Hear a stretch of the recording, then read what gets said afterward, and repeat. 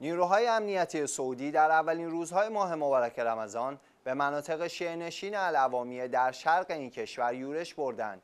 نیروهای سعودی بلافاصله پس از افتار به منطقه شکرالله در غرب العوامیه حمله کرده و اقدام به محاصره این منطقه کردند که باعث رعب و وحشت مردم شد. ریاست امنیت عربستان سعودی با صدور بیانیه ای حمله نیروهای امنیتی این کشور به مناطق شیعه القطیف را تایید کرده و گفت در این حمله دست کم هشت نفر را به قتل رساندهاند.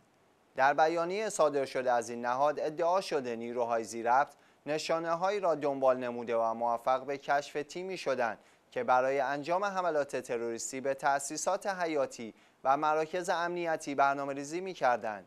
این اقدام نیروهای سعودی در ادامه روش های رعباور مقامات این کشور علیه شیعیان استان قطیف صورت می گیرد.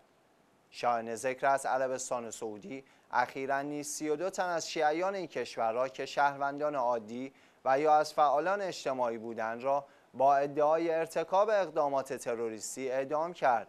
اعدام هایی که توسط سازمان های حقوق بشری و فعالان مدنی سراسر جهان محکوم شد.